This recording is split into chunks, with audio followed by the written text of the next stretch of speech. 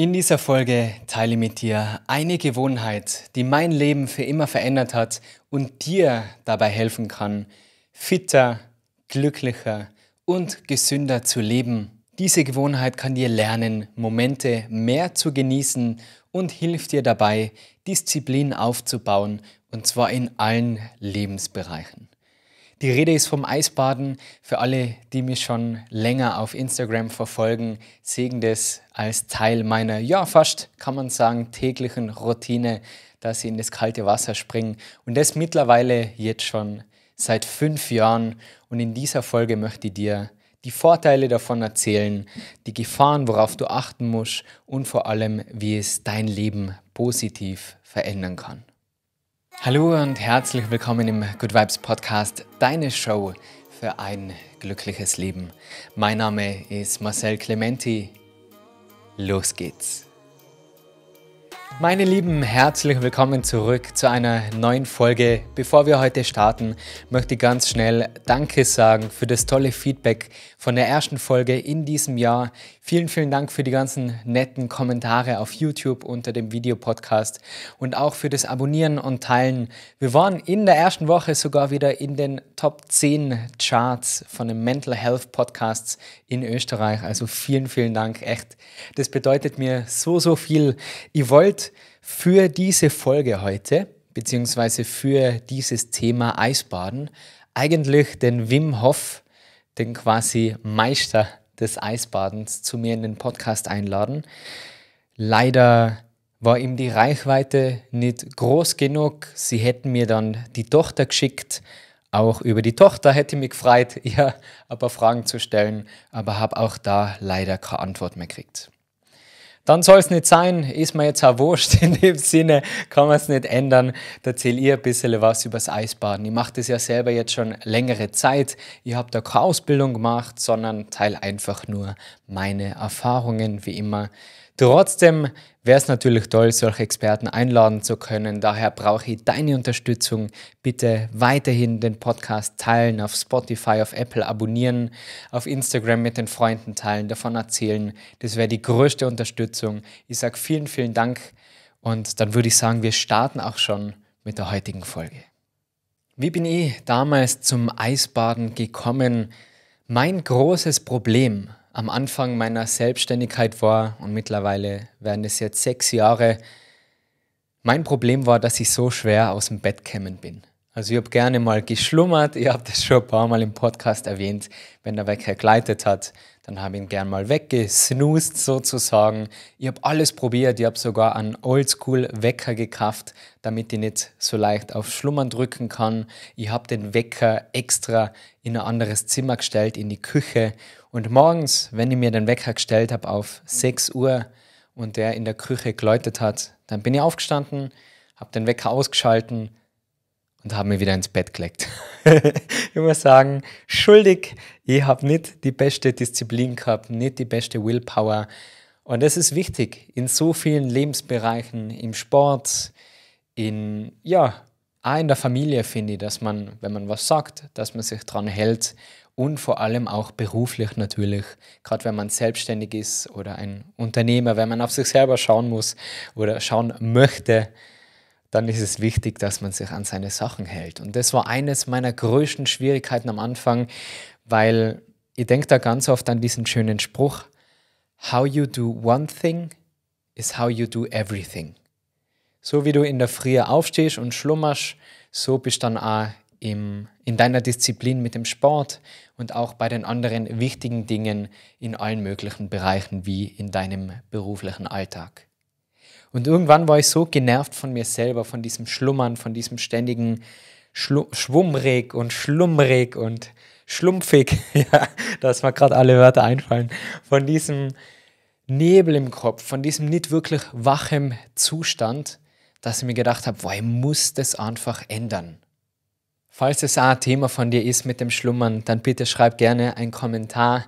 Dann können wir da separat nochmal eine Folge aufnehmen zum Thema Disziplin und Willpower. Ich habe damals einen Podcast ständig gehört, bei jedem Spaziergang mit meinem Hund. Also damals war ja nur Diakona. Jetzt haben wir ja den Filou dazu bekommen. bei jeder Autofahrt ihr wirklich jede Folge gehört von Tom Billieu Impact Theory.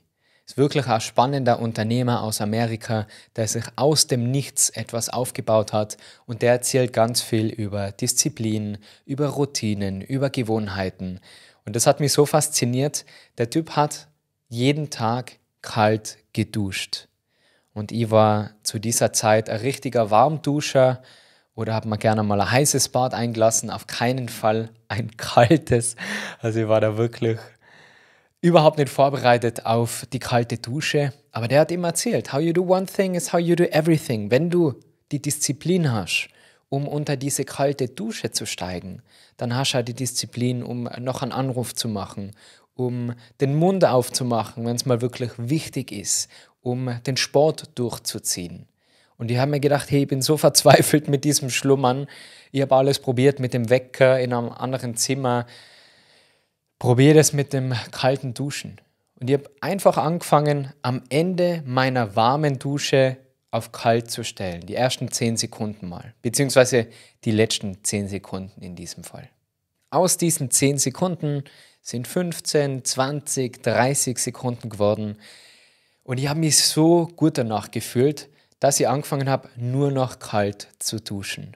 Ich war danach wacher, also morgens, wenn ich selbst wenn ich geschlummert habe, mal wieder und ich unter diese kalte Dusche gestiegen bin, war ich hellwach, ich war konzentriert, fokussiert, ich habe mich so gut gefühlt und habe gar nicht wirklich verstanden, was da mit meinem Körper passiert.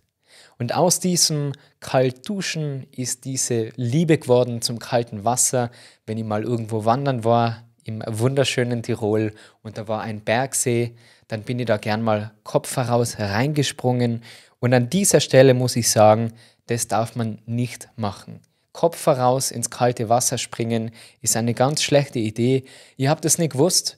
Ich war einfach wandern und bin da reingesprungen. Ich habe das auf Instagram geteilt und ganz viele aus meiner Community haben geschrieben, hey Marcel, mach das nicht. Da ist gerade ein junger Radlfahrer verstorben, weil er es mit dem Herz nicht gepackt hat. Und er war topfit, war Sportler, ist in dieses kalte Wasser gesprungen und ist dann verstorben. Und das hat mich so schockiert.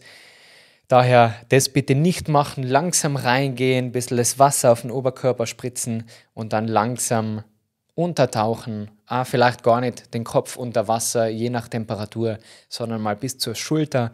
Da erzähle ich dir dann gern im Laufe dieser Folge nur, worauf du achten musst und wie du starten kannst.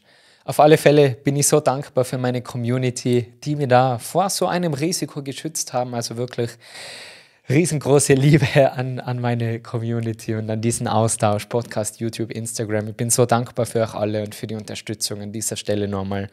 Und ja, habe diese Nachricht bekommen, habe das dann natürlich lassen, mit dem Kopf voraus reinspringen, aber bin weiterhin gerne in dieses kalte Wasser gegangen, weil es sich so gut angefühlt hat.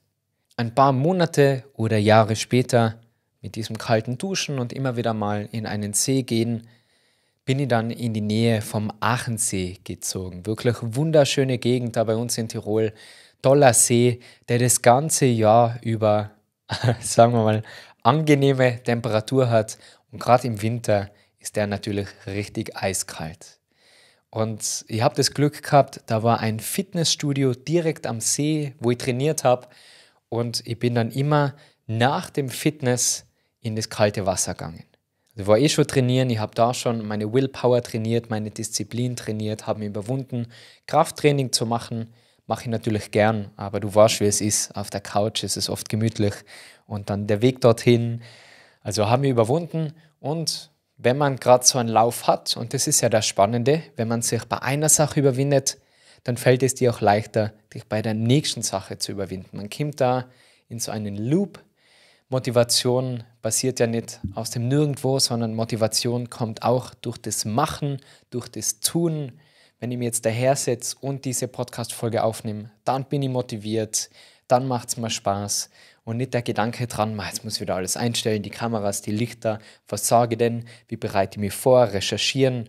Aber das Machen, das Tun, das in Bewegung kommen, das tut gut. Auf alle Fälle bin ich nach dem Fitnessstudio in diesen eiskalten Aachensee gegangen. Und auch hier ist ein Fehler, wo ich erst später draufgekommen bin. Und zwar soll man nicht nach dem Fitnesstraining in das kalte Wasser, sondern davor. Weil was passiert durch das Fitnesstraining, durch das wirklich strenge Krafttraining, passiert ja was mit den Muskeln, mit der Muskulatur, die wird quasi verletzt, um dann stärker zusammenzuwachsen, um generell Muskelwachstum anzuregen. Und durch diesen Schock im kalten Wasser linderst du dieses Muskelwachstum.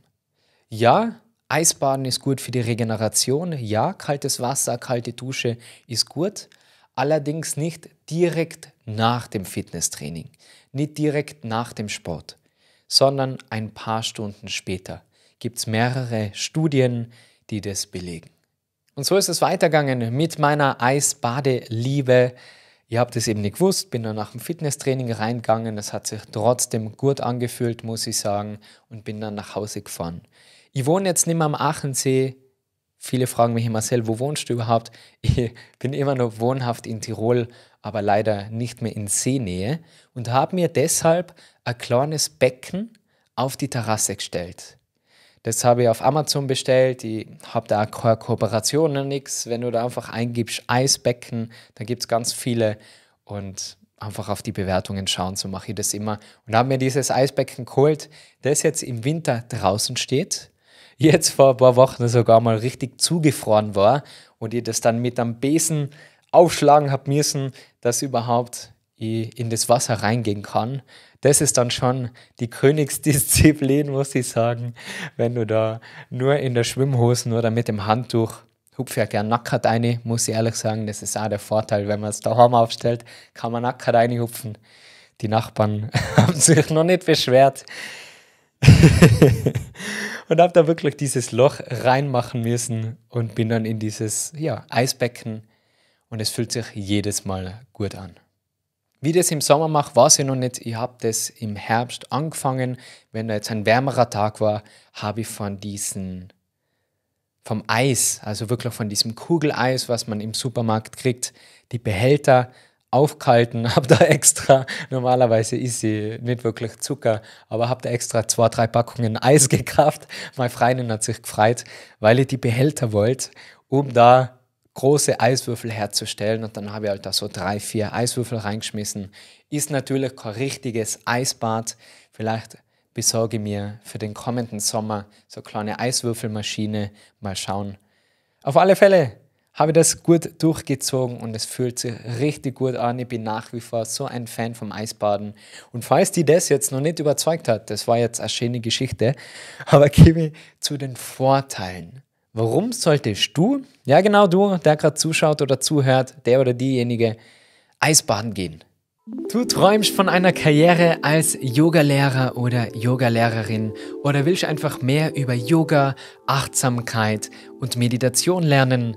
Dann habe ich jetzt genau das Richtige für dich und zwar meine neue 200 Stunden Ausbildung in Linz und in Tirol, kombiniert an vier Wochenenden und einer Intensivwoche im wunderschönen Pitztal in Tirol. Zeige dir all mein Wissen von Anatomie, Hands-on Assists, Yoga Business, also das volle Programm mit drei verschiedenen Yoga-Stilen im Multistyle, Hatha, Vinyasa und Yin Yoga. Danach bist du bestens darauf vorbereitet, findest deinen eigenen Yoga-Stil und kannst wirklich überall unterrichten oder machst diese Ausbildung für dich, um mal tiefer reinzutauchen, um die verschiedenen Meditationen und Yoga-Stile kennenzulernen, um dann selber von überall aus Yoga zu machen. Alle meine Angebote zu meinen Ausbildungen und Fortbildungen für Yogalehrer findest du wie immer auf meiner Webseite www.marcelclementiyoga.com. Und ich freue mich, wenn ich dir auf deiner Reise begleiten darf. Da gibt es ganz, ganz viele Studien, die dir das beweisen, dass das richtig gut tut. Man kann viel drüber lesen, man kann sich viele Videos anschauen und Podcasts anhören, aber das ist wie bei vielen anderen Dingen im Leben, die muss man einfach ausprobieren und danach geht es besser. Habe ich schon oft bei meinen Yoga-Retreats erlebt, dass die Leute gesagt haben, boah, ich traue mich nicht, ich kann das nicht, ich schaffe das nicht. Und dann am Ende bei, beim Abschluss, wenn ich frage, hey, was war das Highlight, sagen sie das Eisbaden. Also bin ich oft ein bisschen enttäuscht, wenn sie nicht sagen die Yogastunden, sondern wirklich das Eisbaden, weil sich das so gut anfühlt. Folgende Vorteile hat es für dich und deinen Körper. Es werden Glückshormone freigesetzt. Also du fühlst dich danach glücklich. Ich bin noch nie in das kalte Wasser gegangen, wirklich noch nie, und war danach grantig oder schlecht gelaunt. Im Gegenteil aber, wenn ich mal davor gestresst war oder mal einen schlechten Tag gehabt hat, was jetzt nicht oft vorkommt, aber natürlich zum Leben dazugehört, und ich dann in dieses kalte Wasser reingegangen bin, habe ich mir danach besser gefühlt. Glückshormone. Der zweite Punkt, du lernst dadurch besser mit Stress umzugehen. Der Moment, wenn du in dieses kalte Wasser steigst, ist Stress für deinen Körper. Du beginnst schneller zu atmen, dein Körper denkt sich, hey, wow, was passiert da? Gefahr, Stress. Und durch dieses tiefe, ruhige, bewusste Atmen gelingt es dir, auch in diesem kalten Wasser Ruhe zu finden und dadurch auch außerhalb von diesem Eisbecken besser mit Stress umzugehen, weil sich dein Körper an diese stressige Situation gewöhnt.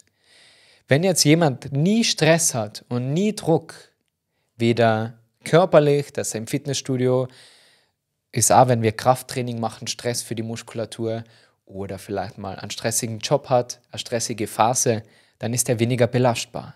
Wenn du Stresssituationen trainierst, wie sagen wir jetzt die Polizei, so eine Spezialeinheit, die unter Stress funktionieren muss, dann sind die stressresistenter. Und so hilft dir das Eisbaden, besser mit Stress umzugehen. Der dritte Vorteil, es ist gut für dein Immunsystem.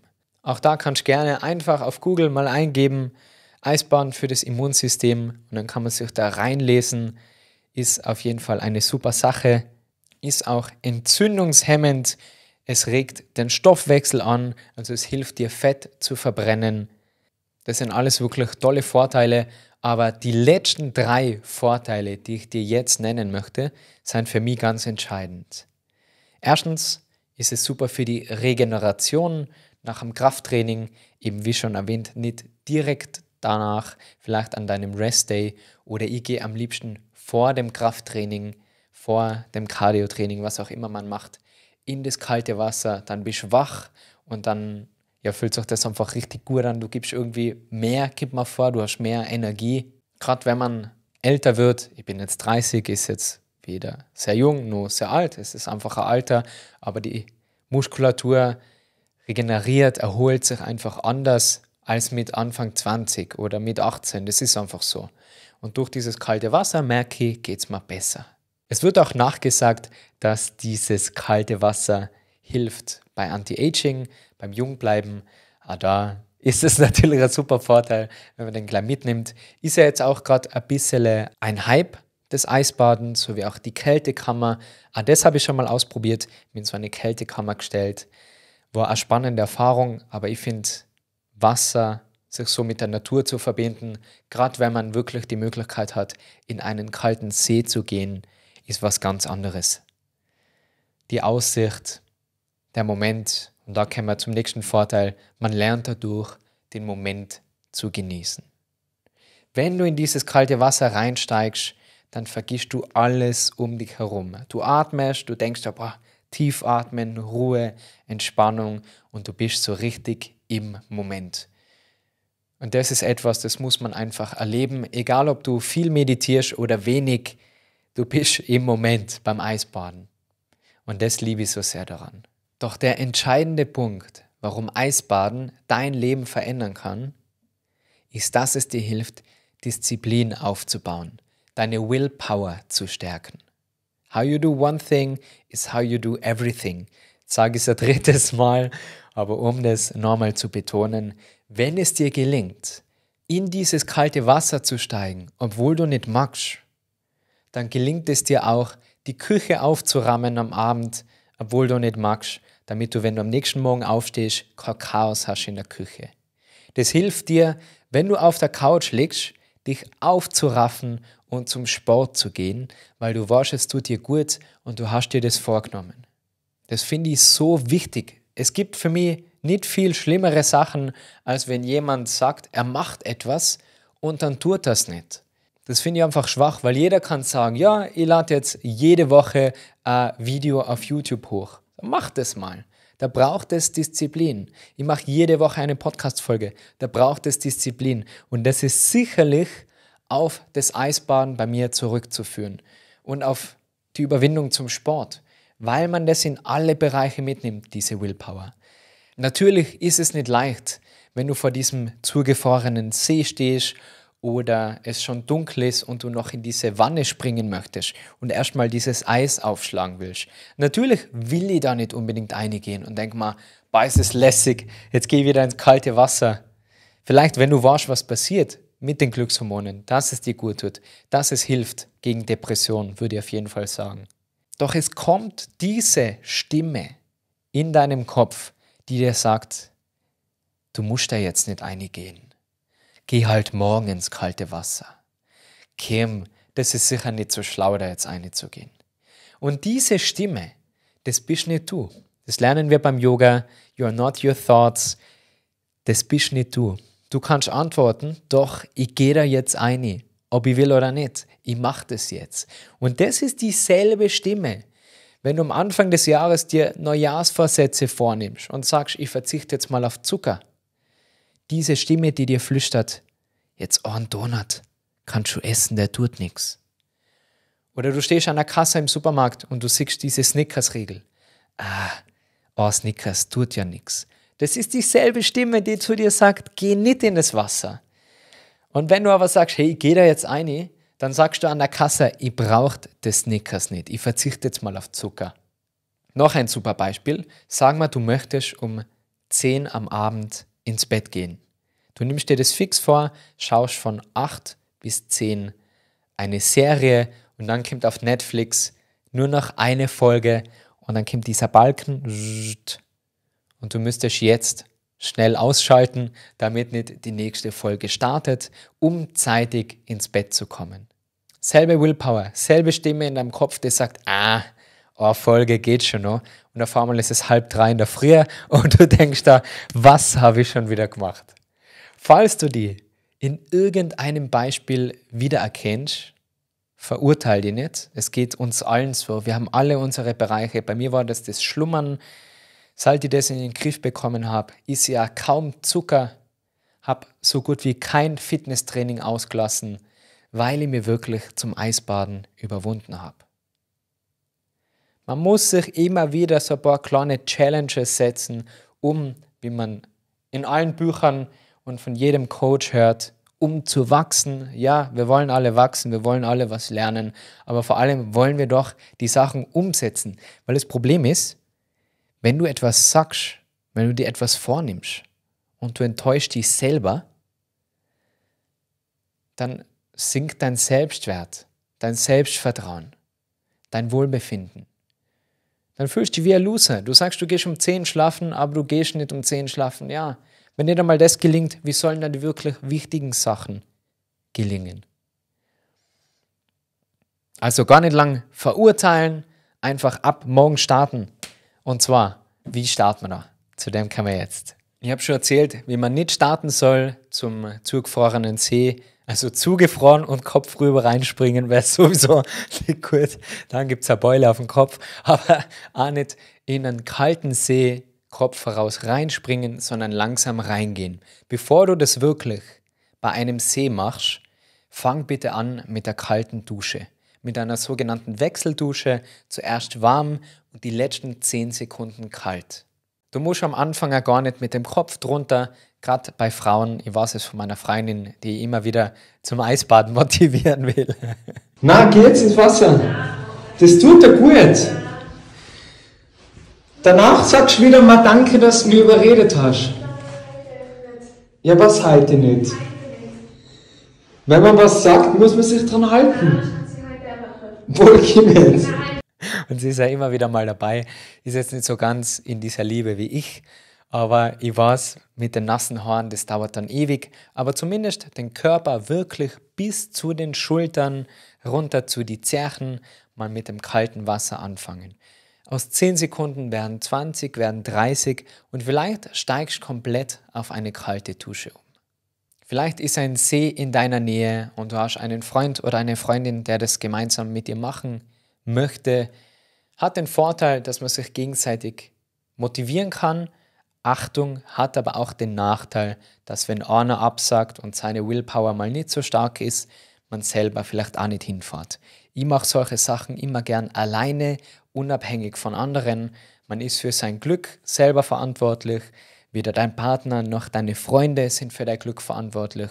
Deswegen mache ich am liebsten den Sport alleine, dass ich nicht auf jemanden warten muss, mich anpassen muss und der dann vielleicht absagt, last minute und ich dann auch mein Training schmeißt. Deswegen, daher hat wie so ziemlich alles im Leben Vor- und Nachteile.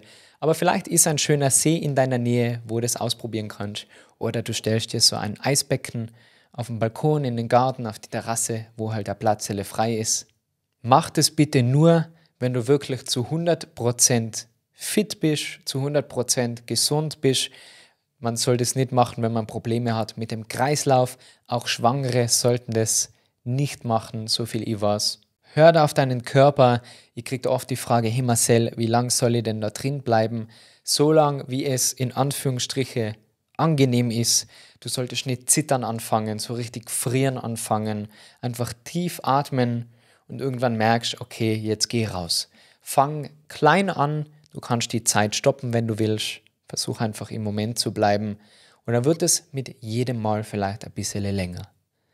Habe auch gehört, man soll nicht länger als fünf Minuten im kalten Wasser bleiben. Mir ist es jetzt noch nie gelungen, so lange in, in wirklich am kalten Wasser zu bleiben.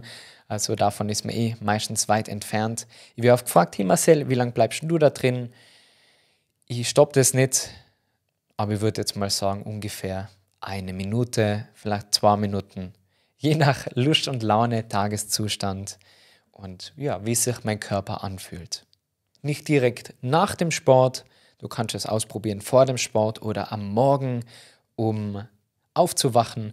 Ich gehe nicht gern morgens in das Eisbecken, muss ich an dieser Stelle sagen da es für mich dann oft schwierig ist, mich wieder aufzuwärmen, wenn ich vom Laptop sitze oder wenn ich jetzt da sitzen würde und ich hätte kalt, das wäre nicht so angenehm. Und das Tolle ist ja, wenn ich in das kalte Wasser gehe und dann Sport mache, dann wird mir warm. Es gibt auch die Möglichkeit, dass man in eine Sauna geht und dann in ein Eisbecken, dann wieder in eine Sauna und in ein Eisbecken. Wenn du mit der Sauna aufhörst, bist du in einem entspannten Zustand und wenn du mit dem Eisbecken aufhörst, dann bist du eher in einem wachen Zustand. Also manche Hotels haben jetzt schon Eisbecken. Die meisten, wo ich meine Yoga-Retreats mache, haben Eisbecken, wo man das ausprobieren kann.